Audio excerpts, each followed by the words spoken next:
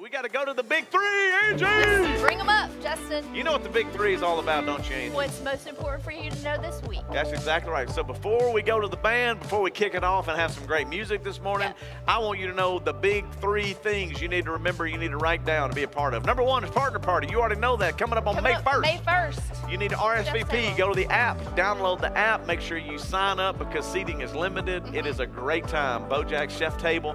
Their food's awesome. We answer questions. We get to meet you and hang out. So don't forget. And then number two. All right. Hey, Okay. by the way, right now, breaking news. Yes, it's coming in. Calvin Freeman from New Mexico. Good morning. Thanks for watching. From all over. So Calvin and Casey, they retired. So they got on the RV and started Yeah. driving around. They've been on a partner know, we- party. they we- are partners. We miss them. We do. But hey, you can be a partner wherever They're you are. like it don't our matter. We got you. And then number two, Mother's Day, Mother's Day coming up, May 8th. May 8th. Mark your calendar. Are you ready? I'm ready, Justin. Do you want I anything special? ready. Is there anything you're looking for, hoping for? Because really, your husband's not supposed to buy. Can we talk about this? We got a minute. Why in the world is the husband responsible for buying you stuff on Mother's Day? Shouldn't it be them little rugrats that we've had?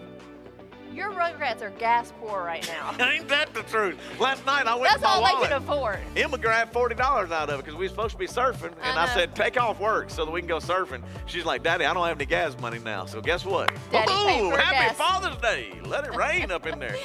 But Mother's Day's coming. Mother's but think Day's if there's up. anything you want, I have a feeling there's going to be some shopping at the Do Good store too. You'll be able to do some Do Good specials and maybe something right here on Oh, Mother's yeah, Day with sure. some We'll awesome ne- next week. other people maybe Yeah, too. We'll be see how it working on that this week. We'll announce it next week. And then Do Good Golf. It's about Do that time, Golf. son. If you want one of these shirts like this, if you want to come play golf with me and Angie. For the first time ever, Angie's going to be there. Don't laugh at us cussing at each other. You know either. who's going to be having a good time with that? Who? Teague Lampkin. I Oh, mean, yeah. you got Kurt Joyner. I They're all going to be to out there. hit a few at the range. It don't matter. that. You don't need to hit another. Man, we're gonna go out there. We're gonna be making hole in ones, Angie. See if your shirt. Make sure it fits. That's what you're gonna wear that day. Oh yes. there you go.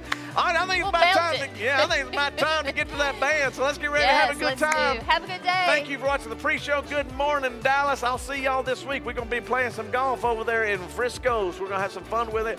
Get ready for a great day. If you're out in the audience, thanks for watching. If you are online, thanks for being a part of it. Band, let's go ahead and crank it up. See you. Peace.